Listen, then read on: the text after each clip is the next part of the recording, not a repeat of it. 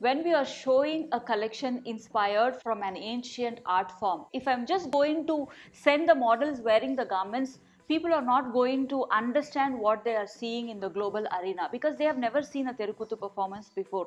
So I thought I should showcase a performer wearing the costume and performing in front of the audience before the models walk the runway wearing the garments. So the audience can get to see the inspiration first and then they can feel where each element of the design has come from. We will have actor Vaanmadhi Jagan, a renowned theatre actor performing on London Fashion Week. She is trained under Purisai Kannappa Sambandhan Ayya. She'll be wearing the Therukoothu costume. She'll be dancing and performing for the music that has been played and sung by the team of Purisai Kannappa Sambandhan Ayya.